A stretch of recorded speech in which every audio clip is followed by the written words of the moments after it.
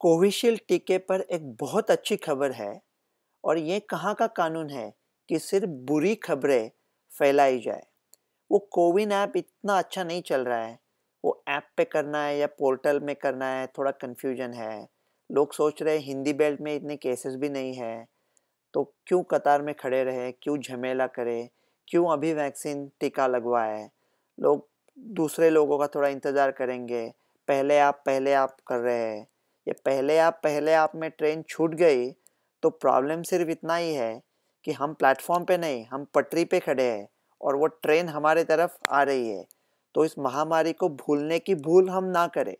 Almost मिट चुकी है, लेकिन वैक्सीनेशन से पूरा मिटा सकते हैं। ये अच्छी न्यूज़ क्या है कि उसका एफिकेसी नंबर इंग्लैंड से आया है और बहुत ही अच्छा है। जितना सोचा था उसे कई गुना अच्छा है। मेरे काफ़ी पढ़े लिखे पढ़े लिखे दोस्त हैं इंडिया में और वो मतलब ज़्यादा समझदार नहीं है, लेकिन पढ़े लिखे ज़रूर है। वो थोड़े मायूस हो गए थे कि फाइज़र का नंबर 95 है मॉडर्ना का 94.1 है। तो हमें क्यों मजबूर किया जा रहा है कि 62 फ़ीसद प्रभावी वैक्सीन को ले ले कोविशील्ड को? मुझे इस बात पे मायूसी आती है कि उन लोगों को इस बात पे मायूसी आती है। दुनिया में कई मुल्क ऐसे हैं कि जहाँ वो सपने में भी सोच भी नहीं सकते कि कोई टीका कुछ हफ्तों में या कुछ महीनों में या कुछ सालों में आएगा। और भारत के पास दो दो वैक्सीन है। कोवैक्सीन तो आज प्राइम मिनिस्टर ने ले ली, लेकिन उसका डेटा अभी तक हाथ में नहीं आया है तो मेरे जैसे लोग कुछ उसके बारे में टिप्पणी नहीं कर सकते।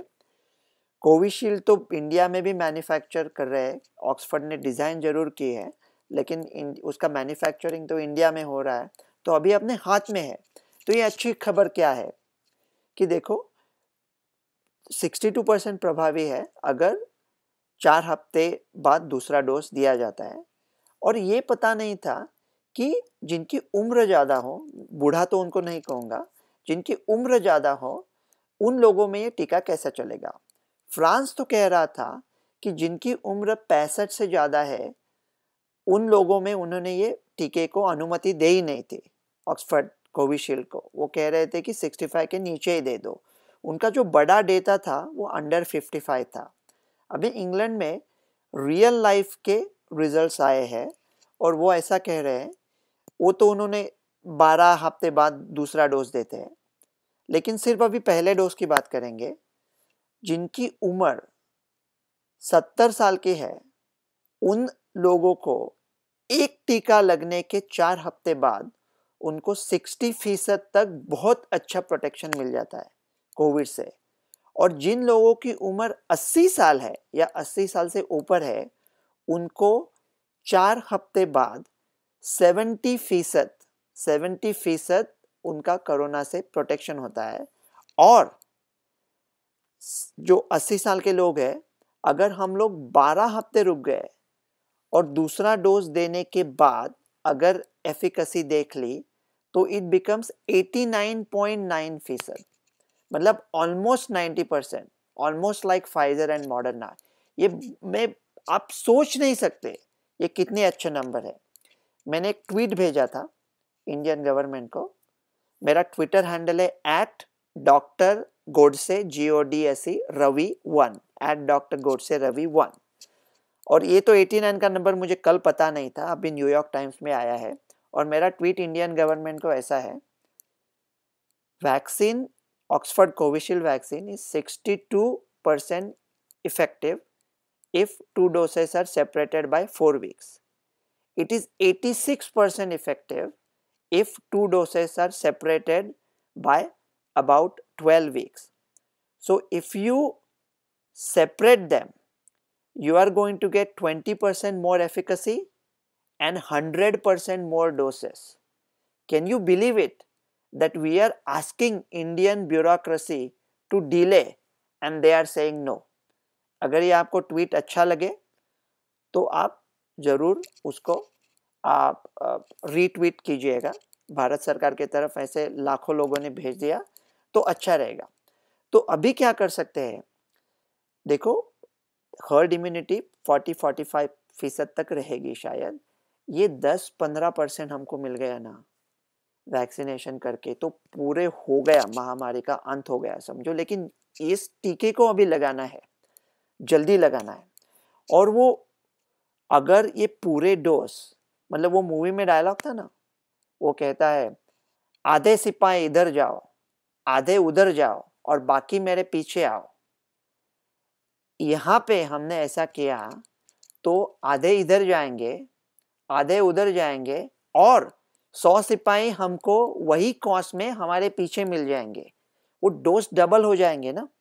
और दूसरा सब डोसे सभी लोगों को दे दिए तो दूसरा डोज तो इमिजिएटली अवेलेबल नहीं होगा, एक महीने में, तीन महीना लगेगा और उसका एफिकेसी भी ट्वेंटी परसेंट से सोने पे सुहागा हो जाएगा ट्वेंटी परसेंट एफिकेसी बढ़ जाएगा।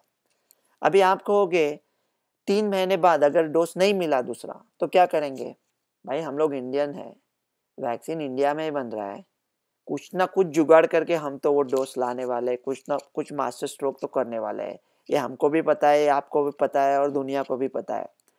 और दूसरी बात ये है कि तब तक शायद दुनिया के जैसे अभी गवर्नमेंट कह रहे हैं कि जो लोग कोविड से बरामद हुए हैं, उनको शायद एक ही डोज की ज़रूरत हो तो हमारी डोसेस रिक्वायरमेंट सडनली हाफ़ हो जाएगी और तब तक सबका प्रोटेक्शन भी हो जाएगा। ये इंतज़ार है वैक्सीन का, दूसरे डोज का, उसमें ही बड़ा मज़ा है। जितना वो इंतज़ार बढ़ जाएगा ना, हमारा एफिकसी बढ़ जाएगा। न पूछ जब से तेरा इंतज़ार कितना है कि जिन दिनों से मुझे तेरा इंतज़ार नहीं, तेरा ही अक्स है इन अजनबी बहारों में, जो कि तेरे लब, तेरे बाजू, तेरा कनार नहीं। तो ये इंतज़ार से हम लोग एफिकसी बढ़ा देंगे। अभी हम लोग यूएस में क्या बोलेंगे? इंडिया को। इंडिया ने तो बहुत अच्छा काम किया है। लेकिन पर हंड्रेड पॉपुलेशन अगर वैक्सीनेशन देखा जाए तो Israel is at ninety one point one. UAE is 65.5. United Kingdom is 31.7. United States is 22.4. Canada का प्रदर्शन एकदम निराशाजनक रहा है 4.8 and India is still at one क्योंकि हमारी आबादी इतनी है तो हमको ये बहुत जल्दी से बढ़ाना है और इस भ्रम में नहीं रहना है कि हम बच चुके हैं वो ट्रक्स पे लिखा रहता है ना बुरी नज़र वाले तेरा मुँह काला। अभी समय आ गया है कि बुरी नज़र वालों को चश्मा पहना देते हैं और उनको बता देते हैं, भाई, ये वैक्सीन पूरी दुनिया कह रही है। ये वैक्सीन का दूसरा डोज है, उसको डिले करो। अगर आपको मेरा ट्वीट अच्छा लगे तो रीट, ट्वीट कर देना। हम इस भ्रम में ना रहे।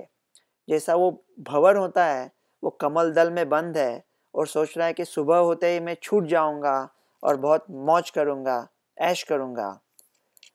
रात्रिर्गमिष्यति भविष्यति सुप्रभातम, भास्वानुदेश्यति हसिष्यति पंकज श्री इत्थम विचंतयति कोश गते द्विरेफे, हा हंत हंत नलिनीम गज उज्जहार। हमारे ऊपर ये परिस्थिति ना आए। देखो, अमेरिका से मैं मैं अमेरिका से तो हम क्या कहेंगे? वो कहते हैं ना शीशे के घर में रहने वाले लोग कपड़े बदला नहीं करते। भारत ने बहुत अच्छा काम किया है। और अच्छा करे, दूसरा वैक्सीन का डोज डीले करे, बहुत अच्छी न्यूज़ है, डॉक्टर रवि गोड से